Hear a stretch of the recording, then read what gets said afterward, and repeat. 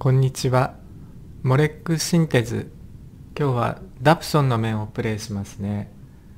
まあ、こうかなり巨大な分子で、まあ、ベンゼン管と、えっ、と、硫黄は硫化水素で取るしかないですよね。で、あとアンモニアと。まあ、材料も他の材料でやる方法もあると思うんですけどね。で、こことここの OH 器を外してベンゼン管とアンモニアをくっつければいいですよね。えっ、ー、とねまあちょっとでも早くするために。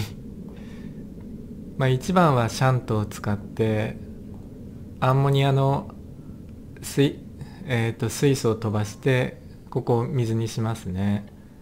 で2番ここで1サイクル目からここの水を消してで次ここの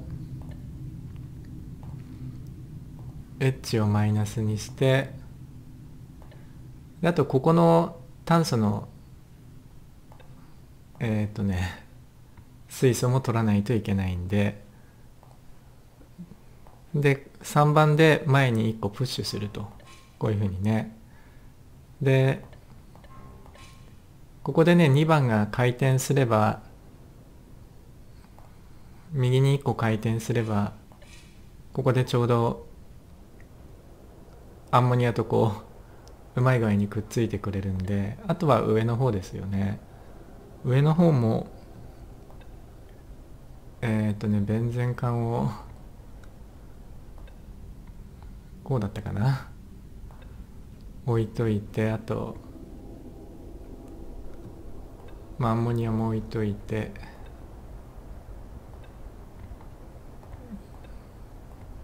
ここのねアンモニア器をここに ここの OH 器に当てるのはちょっと難しいんで4番は最初に水素をここに当てて自分で消去します。で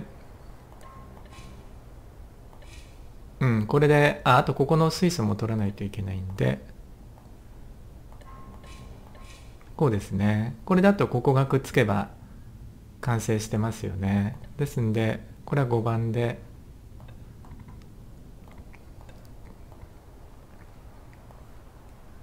エッジマイナスして5番で右に動いてエッジマイナスと。これで一応完成形はできてるんですけど でまあ1番か3番で出荷すればいいんですけどね。まあ1番で出荷しようか。何？あまたベンゼン管のベンゼン管が半回転違ってた。こうですね。ただね5番っていうのはここで右に行ったまま左に戻ってないんでこのままだと次のサイクルはできないんですよだから5番はもう一回こうやって まあ6サイクルで2つ作るっていう形にしてここで左に戻る形にしてこれで6サイクルまあ3サイクルに1つだけどプログラム的には6サイクルで2つ作るっていう形でできますよね。それで、まあ、いつものごとくこうやってまた6番のアームが 余ってるんでまあこれでもう一個作ってサイクル数を 速くしようと思ったんですけどもう今回はねちょっと無理だったんですよ。結論から言うと。あのこうやって端っこに寄せてこの6番1個で作ろうと思うと、まあ、まあこのサイクル数もスペースもちょっと足りなくてね。まあ私の力ではもう一個使ってもう一個っていうのはあの無理だったんですよ。ですんでこれで今回は終わりと。